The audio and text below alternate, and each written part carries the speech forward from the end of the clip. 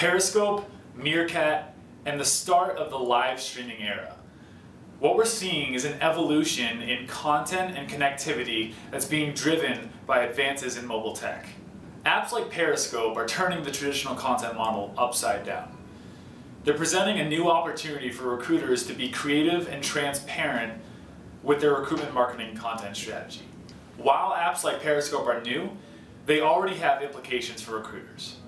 Periscope is a live streaming mobile app currently available in Apple's App Store for free. I'm going to quickly walk through how to use Periscope so you can start broadcasting today. When you open Periscope, you're immediately placed into a feed. This feed is a list of all users currently broadcasting live from within the app. Let's go ahead and start our broadcast right now. We are broadcasting from TMP Chicago. As soon as I start the broadcast, you'll see that people will start to join. We can broadcast what's in front of us, or we can flip to this side. There's Mike. Hey. As people continue to join, they can leave comments and also send hearts. Hey everyone, how's it going? We're going to end this broadcast. And what Periscope actually does is it leaves KPIs for you to see after your broadcast is ended. You can see who joined, uh, the names of people that joined, and how long they watched for. We can also save this broadcast to our camera roll.